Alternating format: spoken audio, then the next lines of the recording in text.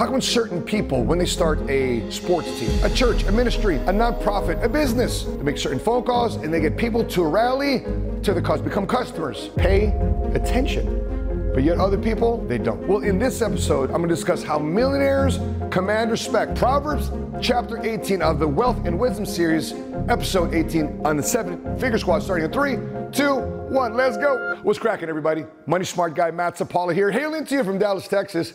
And if you've been watching some of our videos and you think some of them have been very beneficial to you, please consider hitting like so therefore we can spread the message of faith based millionaires.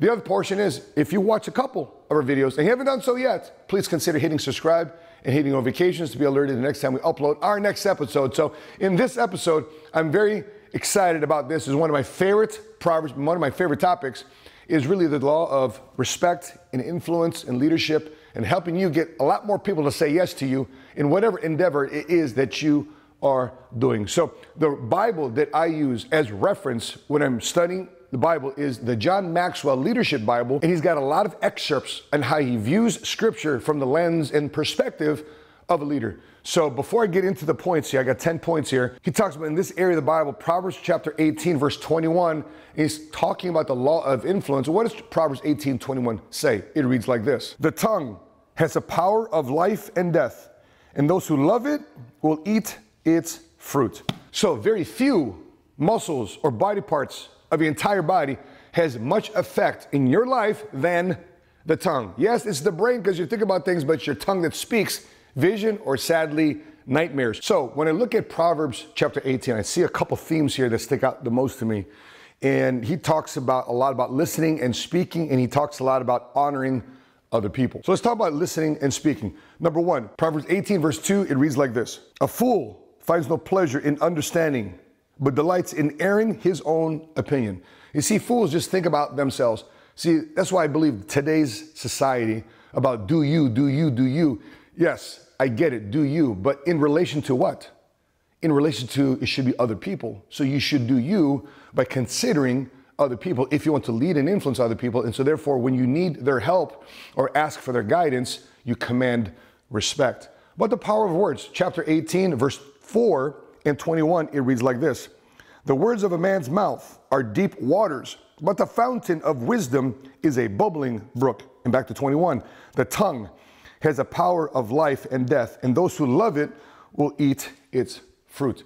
So if you understand the power of words, that's why I'm very careful too as well of what type of music our children are listening to. Why? Because there's certain things that's in music that's re- received very, very excitingly, very uh, uh, graciously, and people are pumped up to hear this music because of the beat, but yet the words are foul. The words speak curses into your life. The words speak things that don't uplift you and build you up and build your confidence and encouragement. So you have to consider the power words because subconsciously, if you hear things, then consciously and subconsciously, words come out of your mouth that either command respect or command disrespect. So if you want to make sure you apply this into your life, put in the comment section below this affirmation I am wise with the power of words.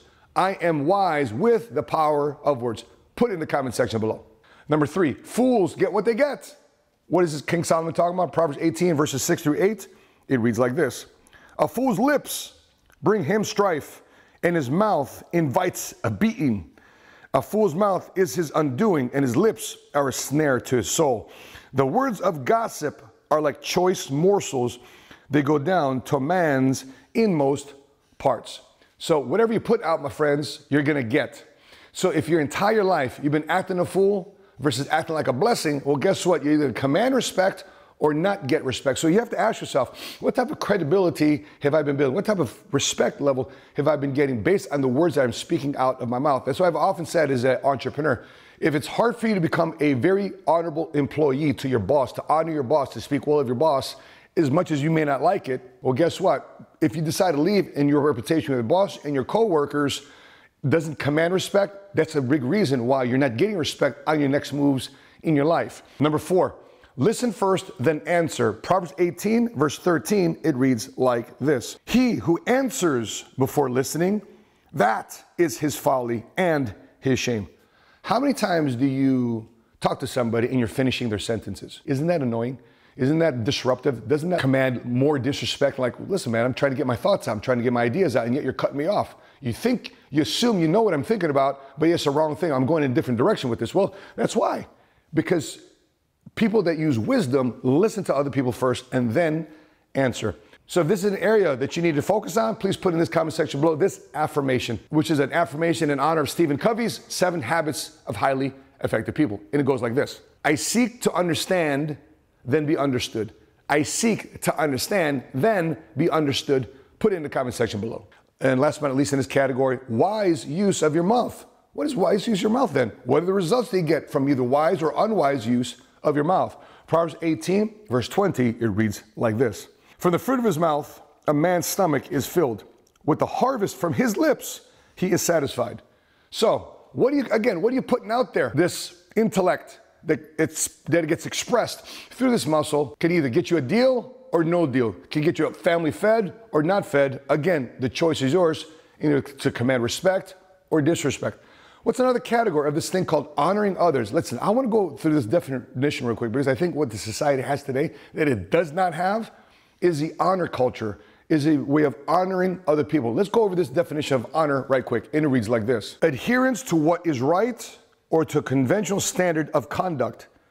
Another way to use it as a verb is regard with great respect or to fulfill an obligation or keep an agreement. See, a lot of people don't follow this code. They don't follow this value. They don't follow this principle. Again, you get what you put out. And respect and commanding respect is something that's built up over time. And I've even ventured to say, even before you become financially successful, even before you become rich, even before you become wealthy, before you become a millionaire, if you've been able to keep the small promises and invoke great respect for other people, invoke great respect from when other people are speaking because you value their opinion, regardless if you agree with them or not. If you value other people and honor them, guess what? In return, they might subconsciously do right back to you. They might just honor you. So let's unpack here what honor means to King Solomon. It's been written a lot of it in this chapter 18. Number one, laziness affects more than just you. Let's look at Proverbs 18, verse 9. It reads like this One who is slack in his work is brother to one who destroys. So again, laziness is not just affecting you. If you're lazy, people know about it. If you're lazy, you get fired. If you're lazy, it affects the overall team capacity, the ministry, of the church, the sports, the business, your relationships. Everybody knows about it, and therefore you don't become the go to person. And everybody knows you're not the go to person, then you don't command respect. So figure out what it is that you want to do. Do you want to be slack? Do you want to be lazy? or do you want to actually get the job done and honor the position as small, as minute as you might think that position is? Because if you've been trusted with the small and you follow through with it and you're reliable and you're dependable, guess what? You'll be trusted with the larger opportunities. The other one here about honoring others. Honor the name of the Lord. What? Or honor your riches. Proverbs 18, verse 10 through 11, it reads like this The name of the Lord is a strong tower. The righteous run to it and are safe. The wealth of the rich is their fortified city. They imagine it an unscalable wall. So we're talking about the fear of the Lord. Well, if you go back to Proverbs chapter 1, it also says something very powerful about where respect, knowledge, and wisdom come from. It reads like this The fear of the Lord is the beginning of knowledge, but fools despise wisdom and discipline. So, in your time of need or your time of opportunity, what do you run to? Do you run to your checkbook? Do you run to your credit card? Do you run to your investment account? Do you run to your business? As if that is impenetrable, that your finances can never be attacked, that is got major defenses that uh, cannot be taken down? Or do you run to the word of the Lord, where the beginning of wisdom, how to get all those things happen? So it's interesting that our journey so far has seen as much as you can do here, horizontally here on the earth, around you on the earth but if you don't have this vertical relationship going on with you and your creator, it's going to be very difficult to have these horizontal things here on earth actually play out the way you'd hoped it be. And so the other thing here is power of gift giving. What do you mean power of gift giving? Proverbs chapter 18 verse 16, it reads like this. A gift opens a way for the giver and ushers him into the presence of the great. Now, a good, a good friend of mine, John Ruhlin, who's got a book called Giftology and how he brings these love gifts to do some business deals. We did an interview with him. You can check it out right here. But very powerful message that he has in terms of his foot in the door is by loving on other people. It's a biblical principle, what he's following. And I got a lot of respect for what he does. He's got a lot of big deals. He got a lot of big opportunities his way because he gets his foot in the door, not by just asking for business, but giving them. And what does he give them? Gifts that honor their family, gifts that honor the values and principles, gifts that honor who that person and what that person stands for. A very powerful way of getting a foot in the door is by honoring people with giving them a gift. Now, for some of you, I don't have a budget for giving gifts. Great. How about uh, interacting with them on social media, interacting with their ideas, interacting with their thoughts, interacting with their videos, interacting with their content? How about buying their book? Simple things like if you want people to do business with you, you should honor them and do business with them first. The other area here is what is the demise? What is the demise of lack of honoring others when wronging people? You think that you burn a bridge. You think that uh, you just turn your back on somebody. You think that you'll never hear from them again. Well, what does King Solomon say here in Proverbs chapter 18, verse 19? When you cross somebody, an offended brother is more unyielding than a fortified city and disputes are like a barred gates of a citadel. So, in other words, if you're trying to get a foot in the door, if you're trying to get a business deal done, and you've crossed somebody, you've burnt a bridge, you did somebody wrong, good luck. They'll probably never forget you for it. They'll probably have so much defense towards you, so much disrespect towards you, that even if you've come close to either business dealings or their associates or the customers or clients, everybody kind of knows what you've done, your rep- reputation is out there. And again, King Solomon says here what the value of a reputation is. A good reputation and respect are worth much more than silver and gold. Here's a challenge though. Some of you want to get the silver and gold, and you think by doing that, by crossing people, by doing people wrong, taking the shortcut, climbing over somebody's back to help you elevate yourself, you think that's getting silver and gold, which you might get in the short term. But long term, if you play in the long game, which I recommend that you do, suggest that you do, do your very best to say, you know what, I'm wrong in a situation, I'm selfish in a situation, I'm greedy in a situation, Lord, forgive me in a situation, but don't cross a brother because it's going to come back and bite you in places you don't want it to. Last but not least, being reliable and dependable. What does have to do with you honoring other people and commanding respect? Proverbs chapter 18, verse 24, it reads like this A man of many companions may come to ruin, but there is a friend who sticks closer than a brother. We just did a reaction video earlier this week about the downfall of Young Thug. And sadly, he's got a bunch of people around him. And this happens to a lot of other celebrities, athletes, actors, in this case, an artist. But a bunch of people that surround him, an entourage that didn't say no to a situation, or a bunch of pretty much yes men doing wrong, then stems, hey, young thug, you want a long career or a short career? Maybe this is something we shouldn't be doing. And so, with that being said, what does it have to be with dependable and reliable? When you're out there, you say, I'm going to keep the small promises to myself. I'm going to stay on this side of righteousness versus wickedness. I'm going to make sure I do right by people versus doing wrong by people. I'm going to make sure I make my money by not having to look over my back or versus people that cross people and they do have to look over their back. When you are reliable and dependable and come through with the small promises you have, well, guess what? People remember that. That is the beginning of your golden touch.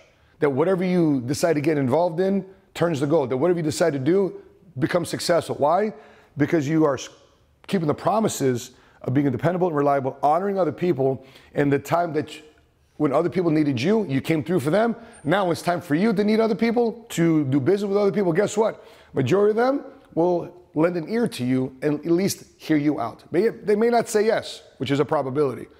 But for the most part, because you've commanded respect, you because you earned respect, well, guess what happens? Your life then becomes a little bit more easier to live. And here's a bonus proverb here for y'all single folks, because at one point I was single for 14 years as a single father. But let's read it real quick. Proverbs chapter 18, verse 22. It reads like this He who finds a wife finds what is good and receives favor from the Lord. Notice it didn't say wives. And the irony behind this is King Solomon had many wives and many side tricks called concubines. So I find it ironic that King Solomon would write this, especially if coming from having a thousand women under his roof. I don't know. But listen, bottom line, however you think about King Solomon, who's regarded as the wisest and richest king who ever lived, he's still a man. The word I want to follow is not man's word, even though God was speaking him through King Solomon. I ultimately want to follow God's word. And so when you think about these type of things, when you think about people that are self-made, you think about people that are team-made, I think most importantly, you have to understand that we are all faith-made when it comes to something that's building something that's good and something that lasts for the long term. And back to this whole bonus about finding a wife, my encouragement to you is this.